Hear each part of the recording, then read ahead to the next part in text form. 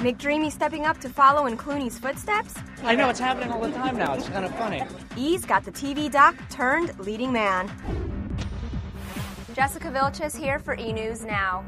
Patrick Dempsey versus George Clooney. Hollywood's sexiest men go from TV to the big screen.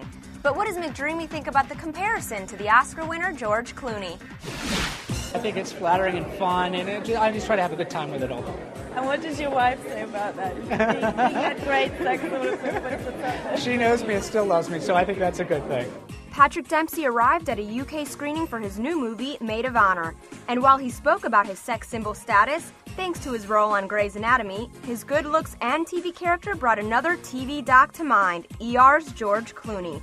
So, how does McDreamy feel about the comparison? Oh, it's all fun. You know, I think it's easy for people to put, uh, you know, they, everybody likes to put a label on something, and he's a nice guy. Yeah. He's done a great job in his career, and, uh, you know, it's flattering being uh, mentioned. He's a good guy to He's be a great guy, yeah. He's, a, he's an easy guy to get along with. Um, he's a good old fashioned movie star, so it's a, it's a wonderful compliment. Being compared to an Oscar winner, not such a bad thing. Patrick's new movie, Made of Honor, hits theaters May 2nd. Thanks for watching E! News Now. Be sure to check out E! Online all day long for the 411 on your favorite celebs.